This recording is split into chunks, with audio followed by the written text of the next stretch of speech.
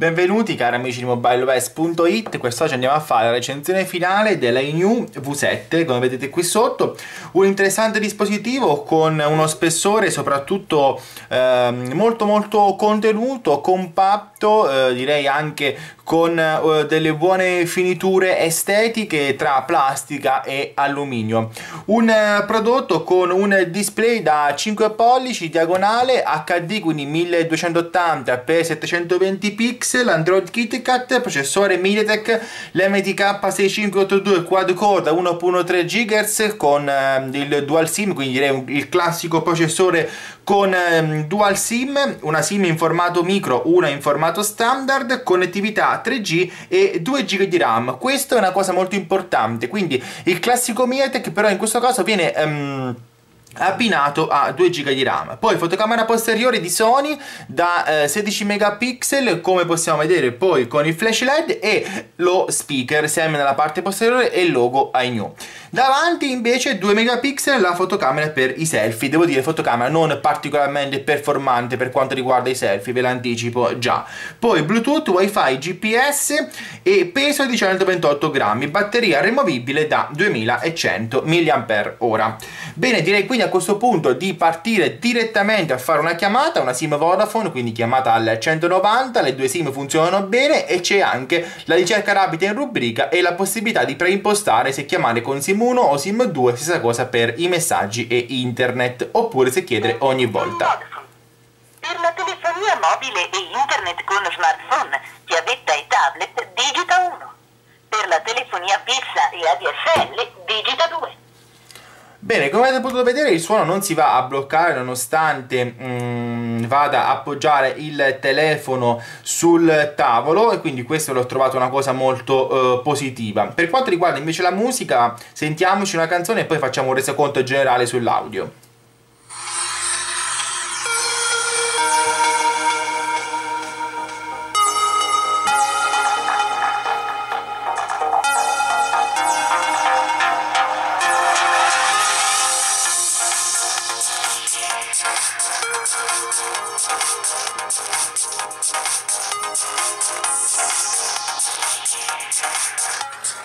Allora, una potenza che bah, sinceramente mi convince poco, uh, però comunque il telefono con il fatto che non va a bloccarsi il suono quando si è in via voce o si è a sentire una musica è una cosa positiva. È una media qualità, non potentissimo, ma alla fine uh, niente, niente male. Direi a questo punto di continuare a parlare di parte telefonica, andiamo un po' nella sezione messaggi e andiamo a scrivere un messaggio così vediamo un po' anche come si comporta la tastiera tastiera. Direi che la tastiera si comporta, si comporta discretamente bene, la risposta al touch è buona, si può scrivere anche direi abbastanza velocemente sul dispositivo, quindi mi sembra tutto bene da questo punto di vista. Insomma, parte telefonica che tutto sommato è buona, anche in capsula auricolare è buona, la ricezione wifi e delle due sim mi è sembrata abbastanza buona, mi sto accorgendo che il wifi non è attivo, lo attiviamo subito. Uh, direi che sostanzialmente il telefono a questo punto di vista si comporta comporta abbastanza bene. Forse, come dire, il, um, sul wifi la ricezione è buona, ma magari non, la, um, l'antenna non è potentissima e non sempre magari in punti dove altri telefoni mi hanno preso questo ha preso. Ma eh, c'è solo un problema di eh, distanza non di eh, compatibilità perché da quel punto di vista appena ci si avvicina leggermente di più alla fonte in, che ci dà appunto il wifi non c'è nessun tipo di problema da questo punto di vista. Bene già che mh, mm, stiamo parlando un po' di eh, ricezione parliamo anche di GPS così ci togliamo un attimino il dente anche per quanto riguarda il GPS andiamo a prendere un po' il GPS status. Nel frattempo vi parlo anche di batteria. Batteria che vi ho detto essere da 2100 mAh. Allora, eh, cosa dire di, um, questa, di, questa, batteria? Beh, una batteria devo dire che tutto sommato è nella media degli smartphone, ovvero riusciamo ad arrivare fino a sera con un utilizzo medio eh, del prodotto senza grossi problemi con i dati o il wifi acceso, quindi alla fine tutto sommato direi che è un'autonomia mm, discreta, darei un 7,5-8 all'autonomia di questo smartphone. Per quanto riguarda il GPS, fuori casa è molto più fulmineo, dentro casa fa un pochino più di fatica, ma ma per quanto riguarda fuori devo dire che lo smartphone si comporta molto bene, quindi direi di chiudere qui la nostra prova. Per quanto riguarda invece Antutu raggiungiamo 18.800 punti, non sono tanti, anzi direi che sono pochini, ma in realtà questo è un risultato un po' come dire mm, non rispondente alla realtà, perché lo smartphone è abbastanza fluido e soprattutto con i 2 GB di RAM permette anche un discreto multitasking, quindi una, mm, come dire, un Antutu questa volta forse ci inganna un pochettino. Bene, eh, stiamo parlando di software, continuiamo a parlare di software. Come vedete eh, l'azienda cinese va a rinnovare un po' le icone generali che sono presenti sul dispositivo, va a inserire alcune applicazioni quali cose da fare, download, email che funzionano bene, il file manager, eh, flashlight, appunto la torcia, la fotocamera e la galleria. Allora, vediamo prima di attaccare una chiavetta, prima di entrare a parlare di fotocamera, vediamo un po' come si comporta con mm, le eh, chiavette collegate nel frattempo che ho collegato la chiavetta, vi dico anche qualche altra applicazione presente, ma direi che le ho quasi finite. Volevo solo farvi notare che c'è la registrazione musicale, un'applicazione per i video e soprattutto la radio FM. Come vedete invece la chiavetta non viene mm, assolutamente letta. Allora a questo punto possiamo entrare in fotocamera eccoci qua. Fotocamera che ha un'interfaccia software devo dire del tutto simile a quella dei MediaTek anzi è proprio lei non ci sono particolari differenze. Eh, qui co le cose classiche che vediamo sui processori eh, quindi direi che ehm, bah, direi che davvero è la classica fotocamera dei processori MediaTek non, non ci sono grandi differenze. Andiamo a vedere un po' come si comporta il dispositivo. Beh devo dire questa fotocamera 16 megapixel non è niente male.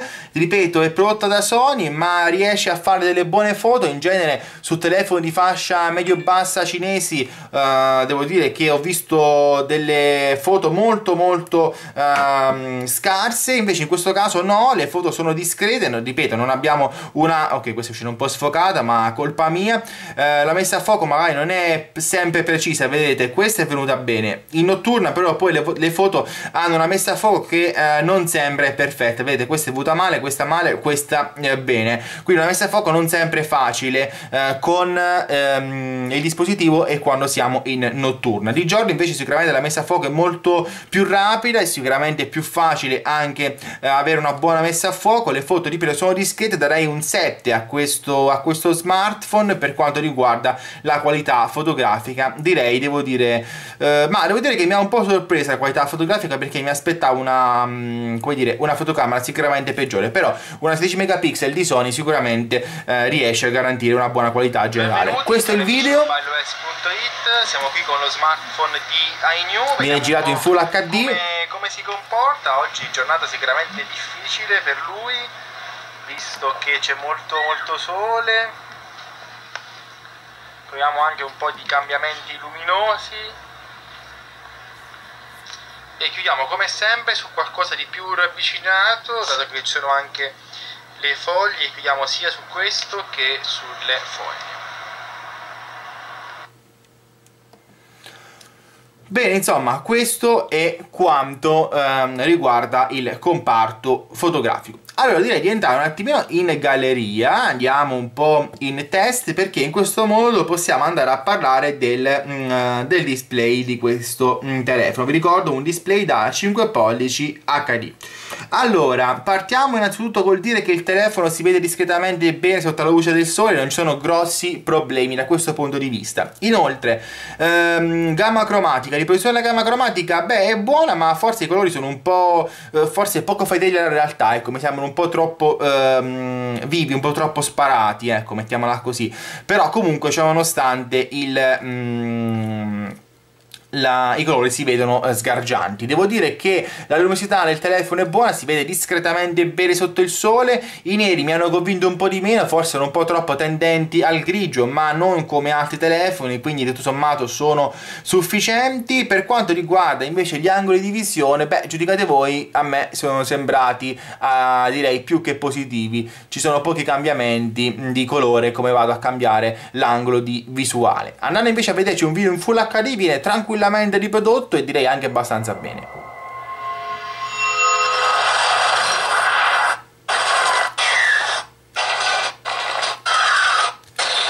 giudicate voi, il passaggio è rapido tra un pezzo e l'altro del video, ve lo faccio vedere qualche secondo.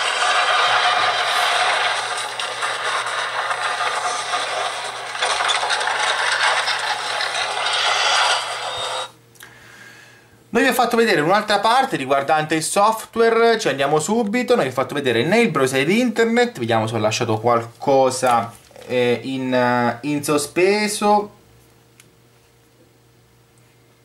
È presente anche Chrome, ma noi adesso andremo ad utilizzare invece il browser stock No, non lascerò niente, lascerò mobileos.it aperto, quindi direi eh, tutto bene. Ora mi è partito da aggiornare, mannaggia. Eh, vabbè, però vediamo un po' se questo crea rallentamenti al, eh, al browser. Devo dire che eh, vado poi a stopparlo. Come potete vedere, mh, mm, mi sembra che sia, mh, mm, sia tutto ok da, dal punto di vista del browser, perlomeno eh, sul, sul nostro sito non ci sono grossi problemi. Nel frattempo che apre l'articolo andiamo un attimino su Repubblica.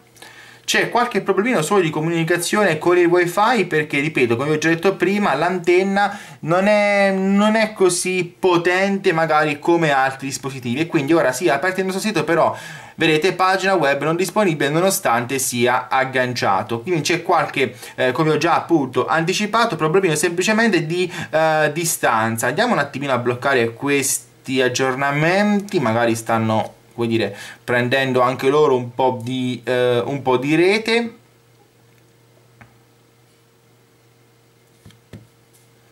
Benissimo, ah no, che non si era bloccato, pensavo si fosse bloccato, invece sta ancora caricando.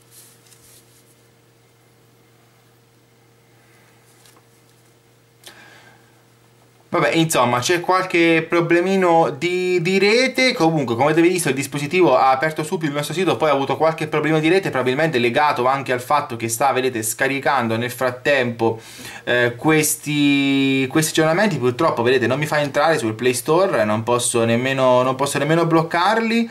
Vediamo un po' se poi riesco a entrare qui insomma non mi, fa, non mi fa fare niente vabbè comunque fidatevi. Il browser funziona bene non ha particolari problemi è anche discretamente fluido eh, quindi devo dire che nessun problema da, da questo punto di vista ecco.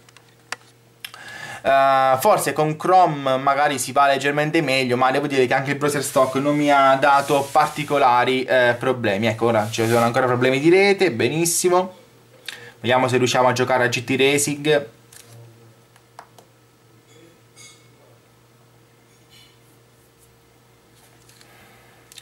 Allora, adesso non vi preoccupate del wifi, ecco, volevo dire anche questo. In realtà la ricezione ehm, è un problema di ricezione, non di stabilità e non di comunicazione. Eh, siamo un po' lontani rispetto a dove ho, solito, ho il router io, ma in realtà eh, tutti i dispositivi in genere hanno più di, di, due tacche, tra le due e le tre tacche, e quindi ehm, non ho la necessità di spostarmi. In questo caso, dato che faccio sempre qui le recensioni, questo dispositivo ha qualche, um, dire, qualche problemino in uh, ricezione perché appunto a causa della distanza. Per il resto però nessun, nessun problema particolare e uh, direi di andare a giocare.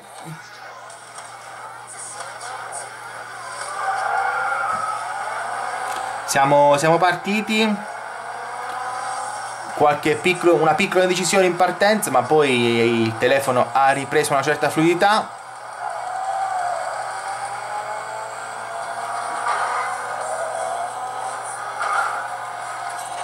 Ma insomma direi che si può giocare senza problemi però qualche ritardino qualche puntamento qualche scatto ogni tanto c'è ecco. Però non sono problemi gravi che ci impediscono la giocabilità ma vi ripeto qualche problemino c'è sulla, eh, proprio sulla, mh, mm, sulla fluidità. E questo ci sono a prescindere dal fatto che ora sta facendo degli aggiornamenti perché mi era capitato di averli ehm, anche in, quando appunto ho testato la prima volta il telefono e non c'era alcun aggiornamento in download. Beh, direi quindi che è tutto per questa recensione, un dispositivo interessante questo di, mm, di ENU, è un prodotto che comunque mh, mm, è vero che garantisce il solito processore di MediaTek l'MTK 6582 per i dual SIM, però in questo caso sono 2, 2 i giga di RAM e questo è davvero un passo avanti. Inoltre abbiamo sempre ehm, la possibilità di espandere la memoria che però interna è già di 16 giga. E ve la faccio vedere perché non vi ho fatto vedere questo.